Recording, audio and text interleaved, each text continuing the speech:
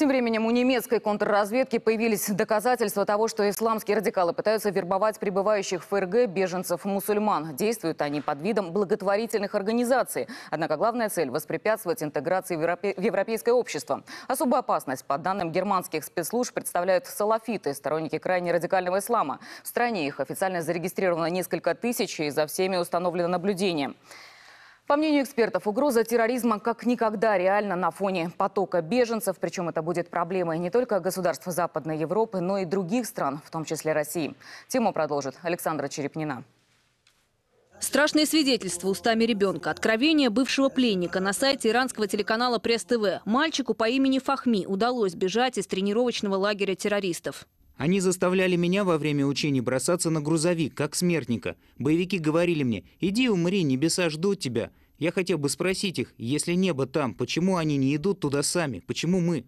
Он бежал, но другие остались. Как сегодня заявили представители Демократической партии Курдистана, на севере Ирака, в Масуле, похищены около 130 детей. Все не старше 15. Что обычно происходит с ними дальше, известно. Методы воспитания на показ. Боевики группировки «Исламское государство» выкладывают видео в сеть. Обучение силой. Бьют кулаками, пинают в живот. Так, что кто-то отлетает назад. Реакция тех, кто наблюдает, показательна. Улыбаются. Вопиющую жестокость прививают на тренировках, закрепляют на деле, когда детскими руками совершаются казни, чтобы привыкали убивать. Именно дети все чаще пополняют ряды террористов, которые для этого еще и вербуют родителей. Сегодня тревогу бьют, к примеру, власти Киргизии. Только по предварительным подсчетам в стране сейчас около двух тысяч граждан, сторонников экстремистов. Они готовы ехать воевать, нередко всей семьей. Из всех выявивших граждан 122, это составляет на сегодняшний день женщины.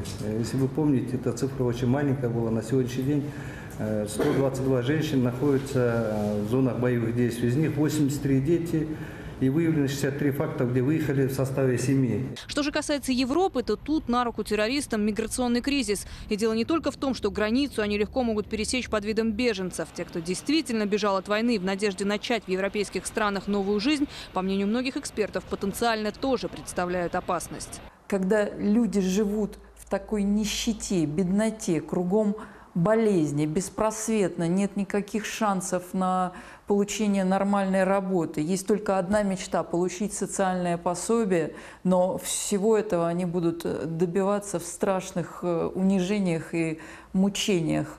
И здесь-то вербовщики найдут для себя новых сторонников обязательно. Вместе с этим потоком э, беженцев в Европу придет с новой силой угроза терроризма. Как пишет британская Sunday Express со ссылкой на одного из агентов группировки «Исламское государство», европейскую границу под видом мигрантов уже пересекли более 4 тысяч боевиков. Все это, по данным источника, часть тайной операции, которую экстремисты готовят на территории ЕС. Некоторые их планы сорвала британская контрразведка. Об этом сообщает другое издание Великобритании Daily Express. В стране в этом году планировалось как минимум шесть терактов. Один из них в Лондоне во время торжеств по случаю окончания Второй мировой войны.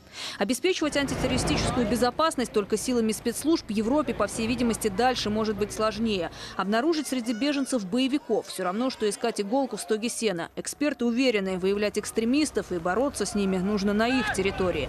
При этом европейские политики предлагают подумать и над тем, как остановить вооруженные конфликты в странах Ближнего Востока, чтобы снизить поток мигрантов. Решать проблемы на языке дипломатии предложил министр иностранных дел Франции Лоран Фабиус. По его мнению, сирийский кризис можно было бы урегулировать, сформировав там переходное правительство. Non, c'est pas. euh, Мы не собираемся вести войну против Башара Асада и направлять войска. Мы боремся с ИГИЛом, но отстранение Асада не выход. Достижение политического решения – это сложный, длительный и полный противоречий процесс. Но мы работаем вместе с арабскими странами, США, Россией и Ираном. Это и называется дипломатией. Миграционный кризис и, как следствие, новые угрозы террористических атак. Результат военной помощи сирийским повстанцам и военного вмешательства во внутренние дела Ливии и Ирака. Проблемы, с которыми Европа, похоже, останется один на один. Америка, продолжая занимать в Сирии сторону оппозиционеров, четко обрисовала границы своей помощи для беженцев. Принять она готова около двух тысяч мигрантов, не больше.